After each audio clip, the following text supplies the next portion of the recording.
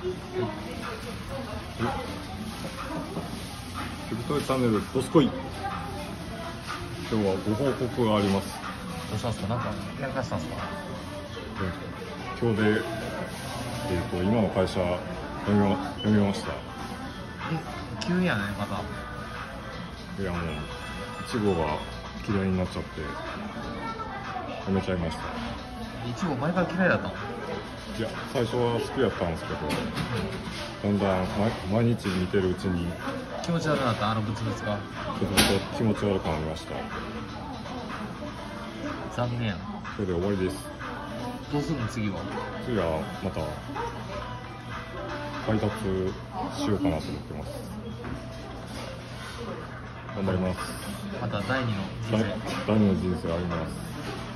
頑張りましょう思います。どうお疲れ様でした。お疲れ様でした。